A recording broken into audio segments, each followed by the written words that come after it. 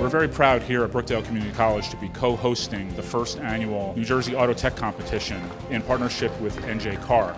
Students who are competing here today will have the chance to go on to represent the state of New Jersey at the national competition at the New York Auto Show in April.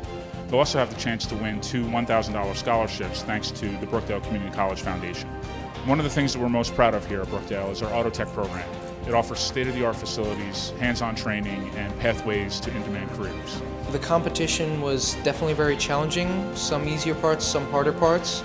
I kind of got to put a variety of all my different skills in. I definitely felt very excited. It feels good to put my skills to the test and see what I can truly do. What we did today was the product of three years into training. We created a competition statewide. The students here were here with their instructors, with their family. Uh, they moved through each session, uh, enjoying every minute. Brookdale Community College is giving me more options for schooling and to learn more about this career